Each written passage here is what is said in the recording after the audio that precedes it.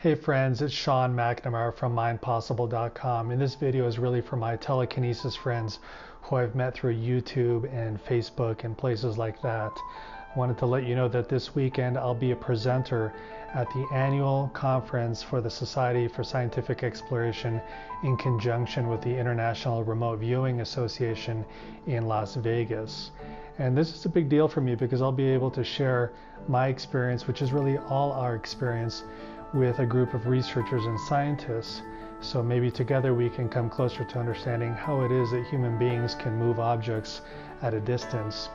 And we'll be sharing information throughout the whole weekend. There'll be a lot of other wonderful speakers, a lot of scientists, a lot of PhDs that you should get to know. And though you may not be able to come to Las Vegas to hear me or the other speakers, you can get live streaming access and recordings available for the end of the month so all you have to do is go to the website, and I'll put the address here, and it's also in the comments section if you're watching this on YouTube. So go to the website for the program, and there you can sign up for the streaming access to it.